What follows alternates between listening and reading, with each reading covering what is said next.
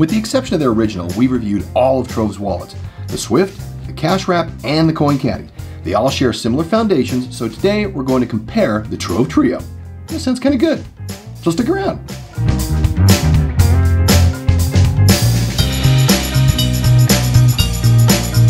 Welcome to Walletopia. We appreciate you being here. Go to walletopia.info.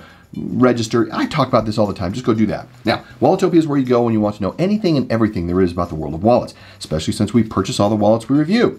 Now, today we're going to do a three way comparison between the Trove Swift, the Cash Wrap, and the Coin Caddy. So let's get into it. These are all slim wallets. They're in that category, and they're all about basically the same size, and they're all foundationed on the same footprint. They all have elastic that's part of their construction and it really is uh, what makes the product line that we have with Trove so appealing and what they can do. And they have different functionality pieces. So actually, let's walk through the feature review of each of these. Let's start with the Trove Swift. Trove Swift is the first one that we, we've done a review on Walletopia on, and I put a card in here just to show how this functions to begin with. This is the quick access pull strap here for two cards that you, or more cards you want to have in the front that you just pull out, and that's where you can get access to your cards quickly. Outside of this one pocket there, we have another pocket on the top. This pocket actually is for more cards or cash. You can put coins in there too. Yeah, I've seen coins be put in there, keys, other things. The elastic's pretty strong. And then flipping it over, on the opposite side of the pull strap for quick access, we have yet another slot right here. And that's another place to put cards or cash in particular if you want. That is the Swift.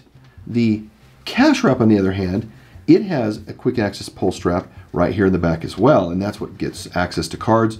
Again, they all have a pull strap here, and at least in these three models. And this is without, without having to open it up yet. You can have access to cards quickly. And the access is twofold. We not only have the quick access strap here, but once we open this up, we have yet another slot right here in front for additional cards right there. And then we are into the cash portion. Cash begins peeking its head out up here because as we open it up further, cash lays all the way down. It secures itself behind here in the slot that we have. And then we have the coin pouch. So there's a little coin pouch right here, and that's where you can place coins, but its primary function is the cash. Cash wrap, that's its name. It folds up like this. That's the has its elastic there, ready to go. If We look at the coin caddy. The coin caddy itself, again, has the quick access pull strap. It's a feature of their main products. And it also has here on the side this little opening. And right in here you can actually fold cash, flip it into there, fold it twice, and you'll have access to cash without needing to open it up. But if you want, open it up. You then have a, another card slot here for more cards, and then right back here is where you put your coins. And since this is elastic, it can carry quite a few and it can get this to be a pretty fat looking wallet if you want with coins, but that's its purpose. And so with that, they all share the elastic that we see here. They have the elastic that's inside of the cash wrap here, and elastic is the foundation of all of their wallets. And it is uh, an Italian-made elastic and great in its capabilities and its longevity. That's a quick review of the features of these three particular wallets. Now, let's look at the side-by-side -side card and cash and we got some coin in there, insertion test. So starting with the Trove Swift, we already got one card in there for quick access. Let's put another one in there. Let's then take a few more cards. One, two, three, let's take five more.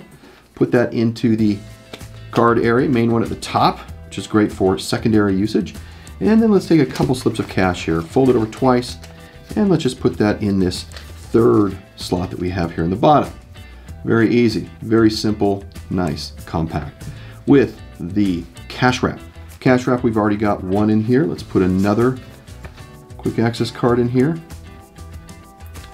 The elastic. We open this up. We notice immediately this is where cash usually goes. And so let's grab some cash. We've got six slips of cash here. One thing that's nice, again, is that it's got this little holding area right down the bottom. This is what secures the base of the cash, keeps it in place, and also prevents it from pulling out too easily when you're going for cash and you want to find what you want. It of course also has a little coin pouch here. So let's grab some coins. Four, put them in here. And I love because of the crease that happens here when it folds, it protects them, keeps them in there. And wrap this up as its name suggests. There we go. And we're down to the coin caddy. One more card for the quick access right here. Let's just flip this in the back. Let's open this up. We've got more cards here, capability, so we'll put four more in right here in the front. As you can see, that's where these go. And then of course its main focus is on coins. So let's get a bunch of coins and throw those in the back there. Yay, there we go, perfect. Now, we also mentioned that it can handle cash too, in the front. So let's grab three slips of cash here, fold it over twice, right there. We put this in, and there we go. Nice. This is wonderful. And there you go. That is how we get card and cash and coins into the Trove lineup. Now let's talk about interoperability. Foundationally, they all share the same Italian elastic. This yellow here is the elastic, elastic on the back here on the coin caddy, and which is fantastic. And you would think that the construction then is all the same, but you'd be slightly wrong. As mentioned, the cash wrap is the sweet spot for interoperability because you can separate them and you have what? Say what? Yeah, let's take a look at this. As we talked about, let's just look at this again. I mean, right here, the cash wrap really can break down into two separate wallets. Let's take this apart here. Let's say that, you know what, I like my coins I've got in here and I like my cash, but tonight I only need my cards. Well, guess what? We can flip that out, take the card portion out.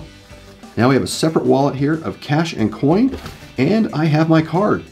Like my, my card here, I've got my uh, quick uh, my quick access capability here. Just pull out, there we go. I can add additional cards into this and just carry this. And so between the two of these, you actually have two wallets. It's quite cool. The Swift can also act as the elastic for the cash wrap. It just fits the same way.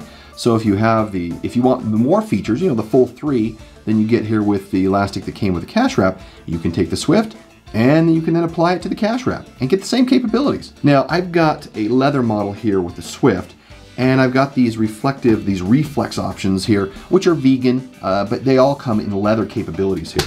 Now from a price perspective, you can see the pricing here between these three, all very close, very complementary.